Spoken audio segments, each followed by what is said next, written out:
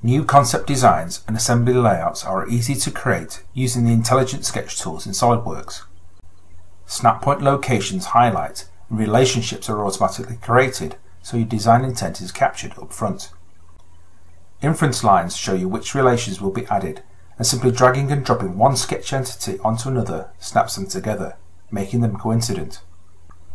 Selecting an item displays a pop-up right at the cursor, which shows only the options that apply.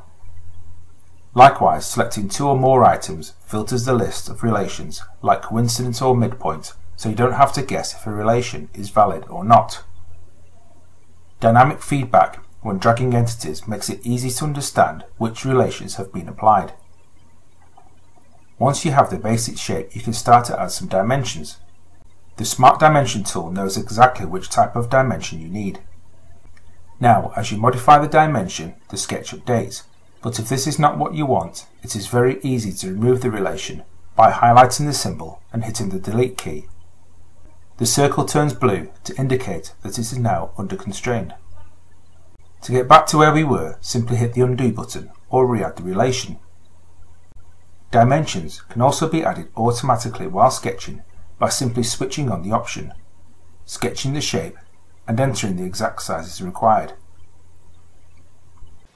Now that the sketch is complete, we can turn it into a 3D part by simply selecting the sketch and pulling on the Instant 3D drag handle, using the on-screen ruler to get an exact size. The underlying sketch can always be accessed for easy modification. Simply select the feature you wish to change and all the sketch dimensions appear, with a drag handle on the end of each leader line. And of course, any changes are easily undone.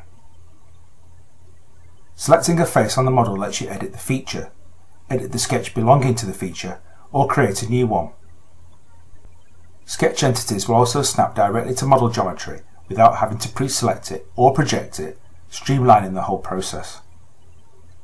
Finally, we'll just add two more circles to the sketch and change the sizes to suit. If the dimensions added automatically are not exactly what you need, there is no need to delete them and recreate them which just overcomplicates things. Simply drag them to the correct reference and you're done. The Contour Select tool lets you use multiple enclosed areas of your sketch to create a feature, so you don't have to trim entities within the sketch to use it. It also means you can reuse the sketch as often as you like, saving a lot of rework.